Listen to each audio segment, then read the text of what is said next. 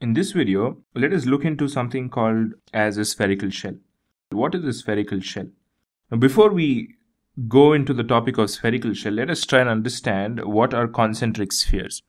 Concentric spheres are nothing but two spheres having the same exact fixed point, that is the center, but then different radii are called as concentric spheres. So here if you see the smaller sphere, it's got a radius of small r. And then if you've got the if you look at the larger sphere it's it's got a radius of capital r.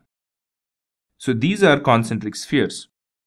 Now what does spherical shell have to do with concentric spheres? The volume or the space between the two concentric spheres that is here if you see i am dotting it with this red color. So this space between the two concentric spheres is called as the spherical shell. So let me define spherical shell now. The space between two concentric spheres is called as the spherical shell.